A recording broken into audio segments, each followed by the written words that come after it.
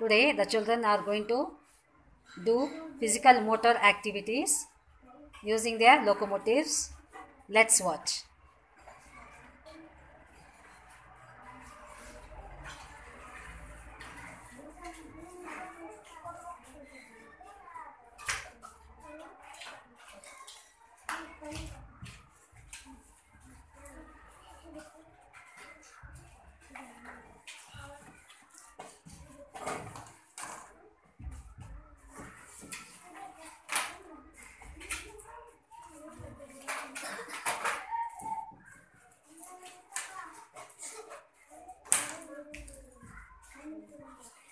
Thank you.